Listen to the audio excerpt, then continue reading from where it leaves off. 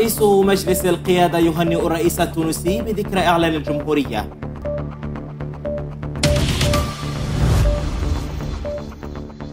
الرئيس العليمي يستقبل القائمة بأعمال السفارة البريطانية.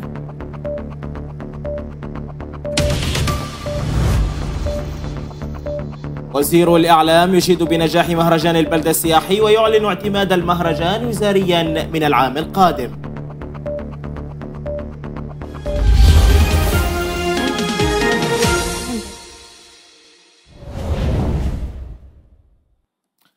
حياكم الله مشاهدينا إلى نشرة أخبار جديدة من تلفزيون حضرموت البداية مع سالي. أهلا بك صالح. نبدأ نشرتنا مع خبر فخامة رئيس مجلس القيادة الرئاسية الدكتور رشاد محمد العليمي الذي رفع برقية تهنئة إلى أخيه فخامة الرئيس قيس سعيد رئيس الجمهورية التونسية. وذلك بمناسبة ذكرى إعلان الجمهورية في بلده الشقيق. رئيس مجلس القيادة الرئاسية أعرب باسمه وأعضاء المجلس عن خالص تهانيه وأصدقها للرئيس قيس سعيد وتمنياته له بموفور الصحة والسعادة ولحكومة تونس وشعبها الشقيق كل التقدم والازدهار. وأشاد فخامة الرئيس في برقيته بالعلاقات الثنائية المتميزة بين البلدين الشقيقين وبموقف تونس الثابت إلى جانب الشعب اليمني وشرعيته الدستورية وتطلعاته إلى إنهاء الانقلاب واستعادة مؤسسات الدولة والأمن والاستقرار والتنمية. استقبل فخامة الرئيس دكتور رشاد العليمي رئيس مجلس القيادة الرئاسي القائمة بأعمال سفارة المملكة المتحدة لدى بلادنا تشارلز هوبر. وتطرق اللقاء للعلاقات الثنائية بين البلدين الصديقين ومستجدات الأوضاع المحلية والجهود الإقليمية والدولية لإحياء العملية السياسية في ظل تعنت الميليشيات الحوثية. هذا وأشاد فخامة الرئيس بالعلاقات المتميزة بين الجمهورية اليمنية والمملكة المتحدة والموقف البريطاني الثابت إلى جانب الشعب اليمني لتخفيف معاناته الإنسانية. أكد فخامة الرئيس دكتور رشاد العليمي رئيس مجلس القيادة الرئاسي أهمية مضاعفة الضغوط الأوروبية والدولية القصوى بما في ذلك خيار العقوبات لدفع الميليشيات الحوثية نحو التعاطي الجاد مع المساعي الحميدة لإحلال السلام والاستقرار وإنهاء المعاناة الإنسانية للشعب اليمني. رئيس مجلس القيادة الرئاسي شدد خلال استقباله رئيس بعثة الاتحاد الأوروبي غابرييل مونويرا فينالس على أهمية أن يطلع المجتمع الدولي بمسؤولياته في وقف الانتهاكات الحقوقية الجسيمة للميليشيات الحوثية ضد المعارضين لفكرها السلالي العنصري. ووضع فخامة الرئيس السفير الأوروبي أمام تطورات الأوضاع على الساحة الوطنية والجهود الحكومية من أجل تحسين الخدمات وفي المقدمة قطاع الكهرباء معربا عن تقديره للدعم الأوروبي الإنساني والإنمائي متطلعا إلى زيادة هذا الدعم وتوسيعه في مختلف المجالات. اطمأن فخامة الرئيس الدكتور رشاد محمد العليمي رئيس مجلس القيادة الرئاسي على الأوضاع في العاصمة المؤقتة عدن إثر العاصفة الرعدية التي ضربت المدينة فجر الاثنين. واستمع رئيس مجلس القيادة الرئاسي من وزير الدولة محافظ محافظة عدن أحمد لبلس خلال اتصال هاتفي إلى إحاطة أولية حول الأضرار التي خلفتها العاصفة والإجراءات المتخذة بما في ذلك حصر الأضرار في الممتلكات العامة والخاصة. والعمل على معالجتها كما اطلع على الوضع الخدمي في العاصمة المؤقتة وفي المقدمة مستوى توليد الكهربائي وخطط السلطة المحلية والحكومة لتخفيف معاناة المواطنين. التقى عضو مجلس القيادة الرئاسية اللواء الركن فرج سلمين البحسني مساء أمس في مدينة القاهرة عاصمة جمهورية مصر العربية الحكم صالح بن ثابت النهدي شيخ مشايخ قبيلة نهد. واطمأن عضو مجلس القيادة الرئاسي على صحة الحكم صالح وأحواله وتبادل معه الأحاديث الودية حول سير مجريات الأوضاع على مستوى الجنوب عامة ومحافظة حضرموت على وجه الخصوص. وما, تطل وما تتطلبه المرحلة من توحيد للصف الحضرمي بقبائله وأطيافه وشرائحه كافة دون إقصاء لأي قبيلة أو مكون. مؤكدا دعمه لقبائل حضرموت ومساندتهم. في جميع الخطوات التي تسعى للم شمل القبائل وتوحيد جهودهم في المحافظة. بحث وزير المالية سالم بن بريك مع سفير الولايات المتحدة الأمريكية لدى اليمن ستيفن فاجن دعم الإصلاحات الاقتصادية وتطورات الأوضاع الراهنة على الساحة الوطنية. اللقاء تناول مستجدات الأوضاع المالية والاقتصادية والتحديات التي تواجهها الحكومة لا سيما عقب استهداف ميليشيا الحوثي للموانئ والمنشآت النفطية.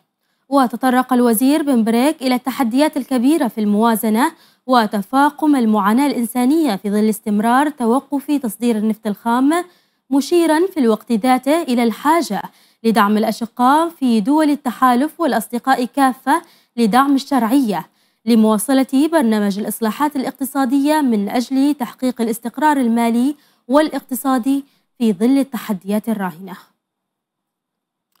ترأس وزير الإعلام والثقافة والسياحة معمر الأرياني ومحافظ حضرموت الأستاذ مبهوت بن ماضي لقاء موسعا بمديري مكاتب الوزارة بساحل حضرموت والمؤسسات والهيئات التابعة لها. وزير الإعلام ومحافظ حضرموت استمعا إلى نشاطات مكاتب الإعلام والثقافة والسياحة والهيئات والمؤسسات التابعة لها والصعوبات الناتجة عن آثار التدمير الذي شهدته بعض المؤسسات إبان وجود عناصر تنظيم القاعدة في ساحل حضرموت في العام 2015 وفي الجوانب الفنية وضعف الموازنات. ونقل الوزير الأرياني في مستهل حديث تحيات فخامة رئيس مجلس القيادة الرئاسي دكتور رشاد العليمي وأعضاء المجلس لأبناء حضرموت وتهانيهم بالنجاح الباهر الذي حققه مهرجان البلدة السياحي للعام الجاري الذي حظي بإعجاب القيادة السياسية وأبناء الوطن وسفراء الدول الشقيقة والصديقة. معلنا عن تبني وزارة الإعلام والثقافة والسياحة لإقامة مهرجان البلدة السياحي بحضرموت ابتداء من العام القادم بالتنسيق مع السلطة المحلية بالمحافظة. ونوه الوزير إلى التحضيرات لإنعقاد مؤتمر المجالس المحلية أواخر شهر أكتوبر القادم برعاية فخامة رئيس مجلس القيادة الرئاسي مؤكدا أهميته في دعم إدارة الحكم الذاتي للسلطات المحلية وتجاوز صعوباتها وأهمية رسالة الإعلام الهادفة بدقة ومصداقية ونقل الوقائع بشفافية وصدق والاهتمام بهموم المواطنين وقضاياهم. كذلك مواكبة التطور التكنولوجي موجها بتحسين خدمات الفنادق والمواقع السياحية وربطها إلكترونيا. كذلك إنشاء فرقة وطنية للموسيقى تابعة لمكتب الثقافة. وأعداد دراسات لشبكات إرسال إذاعية على موجة الإف إم ووعد برفع صعوبات فروع مكاتب الوزارة ومؤسساتها وهيئاتها للقيادة السياسية والحكومة. وتطرق محافظ حضرموت من جانبه إلى جهود السلطة المحلية في دعم مكاتب الوزارة ومؤسساتها وهيئاتها وموازناتها خلال الفترات السابقة. لاستمرارية نشاطها وإبراز الجوانب الإبداعية في القطاعات الإعلامية والثقافية والسياحية. مؤكدا أن السلطة المحلية حرصت على إنجاح مهرجان البلدة السياحي لهذا العام إيمانا منها بأهميته في تنشيط الحركة السياحية والإبداعية وتحريك حركة الاقتصاد ورسم البهجة لعموم أبناء الوطن في سياق جهود النأي بحضرموت عن الصراعات. مؤكدا بأن المهرجان لاقى ترحيبا وإشادة من الداخل والخارج وحقق الأهداف المرجوة من إقامته. وأشار المحافظ بن ماضي إلى أهمية زيارة الوزير لحضرموت للاطلاع على نشاط مكاتب الوزارة وفروع هيئاتها ومؤسساتها وتقييم أعمالها والاستماع لصعوباتها واحتياجاتها مشيدا بلفتة تكريم المبدعين مثمنا عطاءاتهم خلال مشوارهم الإبداعي. مسرور جدا أن أكون اليوم وزملائي في قيادة وزارة الإعلام والثقافة والسياحة متواجدين معكم في حضرموت ننقل إليكم آه، تهاني وتبريكات القيادة السياسية ممثلة بفخامة الرئيس الدكتور رشاد محمد العليمي رئيس مجلس القيادة الرئاسي وأعضاء مجلس القيادة الرئاسي ودولة رئيس الوزراء بمناسبة نجاح مهرجان البلدة. هذا المهرجان الذي كان آه، في هذا العام متميزا. آه، وهو دليل أيضا على اهتمام القيادة السياسية بمحافظة حضرموت لما لها من مكانة كبيرة واهتمام كبير. آه، من فخامة الرئيس ومن الأشقاء في تحالف دعم الشرعية بقيادة المملكة العربية السعودية. ونتوقع إن شاء الله تعالى أن تحظى حضرموت بالعديد من المشاريع والبنى التحتية لهذه المحافظة والإنجازات العديدة بإذن الله حريصين أن تكون حضرموت نموذج مشرف للسلطات المحلية على مستوى المحافظات وحريصين في نفس الوقت أن هذا هؤلاء الكرام أبناء هذه المحافظة يعني يستحقوا كل الدعم وكل الاهتمام والرعاية والمحافظة واعدة بعدد كبير من المشاريع سواء في مجال الكهرباء أو البنية التحتية بمختلف أشكالها. آه الاهتمام الكبير لفخامة الرئيس يعني آه سيكون له دور كبير إن شاء الله تعالى.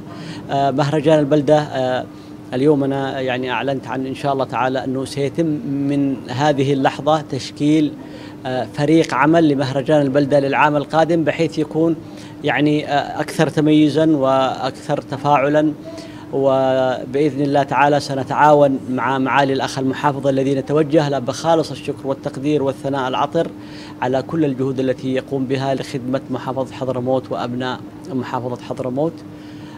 هناك العديد من القضايا التي تم النقاش فيها بهذا الاجتماع. أو يعني وإن شاء الله تعالى هناك كثير من الحلول التي اتفقنا عليها والمعالجات التي ستتم بإذن الله تعالى وبدورنا سنرفع بمختلف المتطلبات التي نستطيع القيام بها إلى إلى فخامة الرئيس الذي بدوره سيوجه الحكومة لتنفيذها وأيضا أنا يعني أعرف أن دولة رئيس الوزراء مهتم كذلك بمحافظة حضرموت وكل الزملاء في الحكومة. حضرموت نموذج متقدم للمدنية وللتحضر وتعطش أبناء المحافظة للدولة وحضورها وتواجدها. وحضرموت تميزت أنها كانت بعيدة عن مختلف الأحداث التي مرت بها اليمن خلال الفترات الماضية وهذا أمر آه الحمد لله يعني أمر جيد لهذه المحافظة آه ونحن نتمنى أن يكون كل اليمن بخير وبصحة وبعافية إن شاء الله تعالى. آه هذا التميز ويعني المدنية الموجودة في أبناء المحافظة يجعل لها خصوصية متميزة وفريدة في إمكانية أن تكون نموذج مشرف يعني بالنسبة لكل محافظات اليمن. ستكون هي ال project pilot أو خلينا نقول النموذج الذي يحتذى به في بقية يعني المحافظات. أيضا المحافظة واعدة بالكثير من المؤتمرات والفعاليات الكبيرة التي ستأتي برعاية فخامة الرئيس منها. مؤتمر السلطة المحلية الذي سيقام بإذن الله في أواخر أكتوبر وبداية نوفمبر وهي برعاية كريمة من فخامة الرئيس الدكتور رشاد محمد العليمي. وهذا أيضا سيكون له أيضا أثر كبير. الأشقاء في المملكة العربية السعودية أعلنوا عن حزمة من المشاريع بتكلفة تقريبية مليار و200 مليون ريال سعودي لعدد من المشاريع. والمحافظة واعدة بمشاريع أخرى إن شاء الله تعالى. سيتم الإعلان عنها في الوقت المناسب من قبل فخامة الرئيس. زيارة المبدعين وتكريمهم زيارتهم إلى منازلهم وتكريمهم هي تعبير بسيط من الحكومة ومن القيادة السياسية عبر وزارة الإعلام والثقافة والسياحة عن اهتمام الدولة ورعايتها لهؤلاء الذين قدموا حياتهم لأجل خدمة الوطن في مختلف المجالات التي كانوا يعملوا بها، وبالتالي هي أقل واجب يمكن أن يقدم لهذه الكوادر الوطنية التي تستحق منا كل الإجلال والتقدير. هذه المرة الثانية طبعا، المرة الماضية كانت قبل سنتين وهذه الزيارة تأتي بناء على توجيه أيضا فخامة الرئيس واهتمامه المباشر وتوجهه إلينا بضرورة الاهتمام بالمبدعين خصوصا الذين أفنوا حياتهم في خدمة الوطن. أكد محافظ حضرموت الأستاذ مبخوت بن ماضي أهمية التناغم بين السلطتين التنفيذية والقضائية ودعم تنفيذ أحكام القضاء وتوفير الأرضية المناسبة ودعم البنية التحتية للمؤسسات العدلية. جاء ذلك لدى لقائه رئيس محكمة استئناف حضرموت فضيلة القاضي محمد فرج سباتي ورئيس محكمتي سيئون وثمود الابتدائيتين القاضي سامي صلاح الكثيري لمناقشة أوضاع السلطة القضائية وسبل تعزيز عمل المحاكم. واستمع محافظ حضرموت لمقومات العمل للمحاكم والاحتياجات الضرورية للارتقاء بعمل السلطة القضائية بحضرموت وما تحتاجه من مبان ومنشآت لبعض المحاكم. مبديا استعداده أو استعداد السلطة المحلية للتدخل في هذا الجانب وتدليل المعوقات التي تعترض عمل المحاكم بالمحافظة. مؤكدا في الوقت ذاته دعم استقلالية القضاء بما يسهم في أداء دوره بصورة عادلة وشفافة منوها بدور القضاء في تحقيق العدالة في المجتمع ونيل حقوق الأفراد وإيصال الحقوق إلى أهلها. تفقد رئيس هيئة المنطقة الحرة عدن حسن الحيد اليوم سير الاستعدادات لتشغيل مصنع اسمنت شركة دار اليمن المحدودة في العاصمة المؤقتة عدن البالغة تكلفته الاستثمارية 70 مليون دولار بمساحة 60 ألف متر مربع وبقدرة إنتاجية تصل لنصف مليون طن من مادة الإسمنت سنوياً. رئيس المنطقة الحرة استمع من رئيس مجلس إدارة الشركة محمد المنصب ومدير المصنع المهندس أحمد السيد إلى شرح عن الأعمال الإنشائية الصناعية وترتيبات واستعدادات تشغيله التي وصلت نسبة 80%.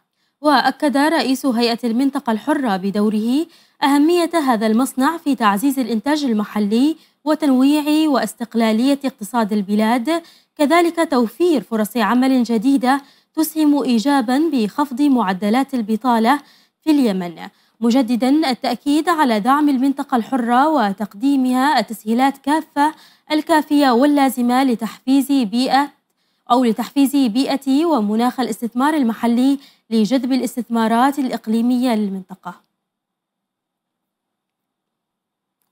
عقدت اللجنة الاستشارية بمحافظة حضرموت لتعزيز الحكم المحلي وبناء السلام الشامل في اليمن صباح اليوم بالمكلا اجتماعا برئاسة رئيس اللجنة محمد الحامد لتقييم عمل اللجنة منذ تأسيسها. اللجنة الاستشارية بحضرموت بحثت عددا من الجوانب والأنشطة المقترحة لتعزيز أداء اللجنة وتطوير عملها. استعرضت اللجنة الجهود المبذولة منذ انطلاق أعمالها وأبرز الإنجازات التي حققتها اللجنة في مختلف القطاعات واللقاءات والأنشطة المنفذة والتدخلات التي أسهمت في حلحلة العديد من المشكلات بالتنسيق مع قيادة السلطة المحلية بالمحافظة وتنسيق عمل مشاريع الوكالة الألمانية جي آي زد. ختام النشرة تذكير بأبرز ما جاء فيها. رئيس مجلس القيادة يهنئ الرئيس التونسي بذكرى إعلان الجمهورية.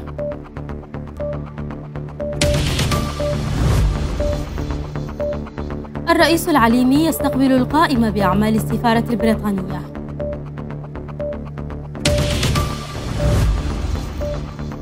وزير الإعلام يشيد بنجاح مهرجان البلدة السياحي ويعلن اعتماد المهرجان وزاريا من العام القادم.